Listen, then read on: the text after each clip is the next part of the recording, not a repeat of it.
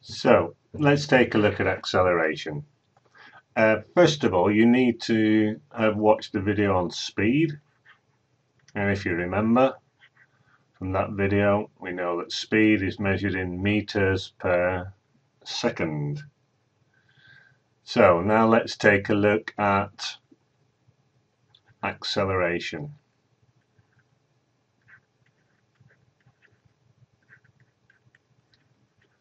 And we're going to look at a little truck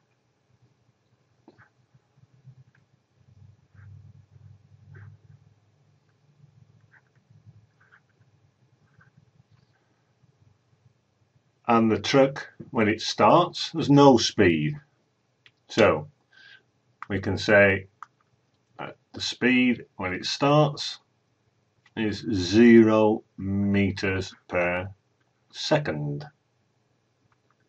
Now let's say that we measure the speed of the truck after one second. So we start at zero and after one second the truck has a speed of one meter per second. So in that one second the truck got quicker by one meter per second. So we can say in this second here it got quicker by one meter per second. Every second per second this we normally write one meter per second squared so this is one meter per second squared.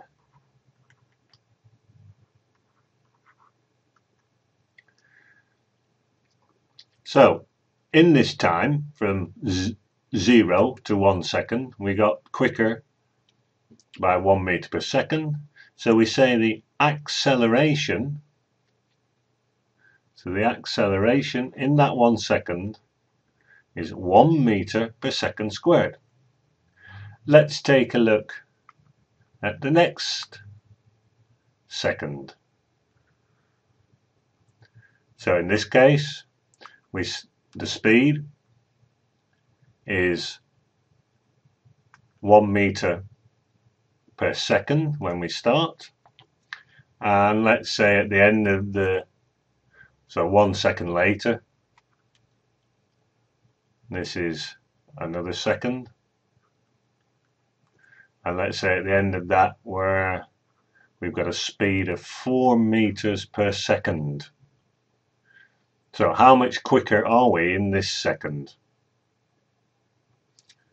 We get quicker by 3 meters per second.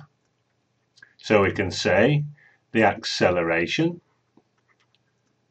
every second we got quicker by 3 meters per second. So the acceleration in this case will be 3 meters per second squared. And that's a quick look at acceleration.